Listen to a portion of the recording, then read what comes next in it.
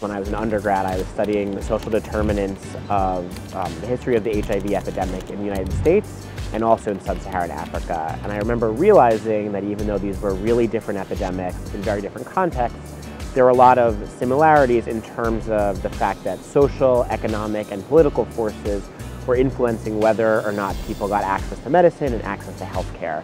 I really wanted to learn about how does the healthcare industry work. So I split my time between working for pharmaceutical companies and working for major global health organizations.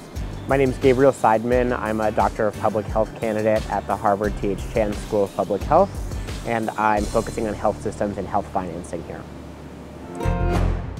I specifically wanted to come to the Chan School to pursue the Doctor of Public Health program. It was a new degree that I was really excited about. Before coming here, I was actually looking at getting an MBA, but I ended up deciding that I wanted something that gave me more technical skills, um, focused in public health methods.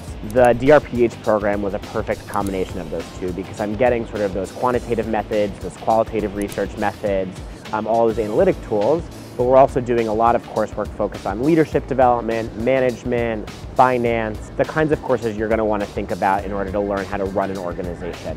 So for me, this program and this degree was a perfect combination between the two sort of things that I was interested in. My group went to India this past winter. We spent our first week in Delhi and then two weeks in a poorer state called Bihar. We were looking at delivery of primary care services for children and looking at telehealth and telemedicine. How can you use um, cell phone service or Wi-Fi service to give individuals in these rural communities access to doctors living in cities. One of the highlights for me has been the interaction with specific faculty that I've had. I'm working with Professor Rifat Atun, who's the director of the Global Health Systems Cluster here at the school. I took Foundations of Global Health with him in the fall last year, and since then I've been working with him as a research assistant and as a fellow for a couple of his projects to think about the future of innovative financing and also priority setting and decision making for ministers of health and ministers of finance.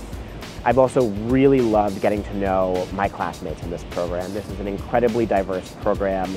We have people from all over the world, all over the country, and you can really feel that diversity of backgrounds in the classroom, right? My colleague who's worked on Obamacare implementation for the last four years, and my colleague who worked on disease er eradication in sub-Saharan Africa, um, and my colleague who worked on uh, humanitarian crises and refugee work uh, in Southeast Asia, they all have very different perspectives that they're bringing into the classroom and into our work, and that's really helped broaden my horizons and given me a tremendous experience here.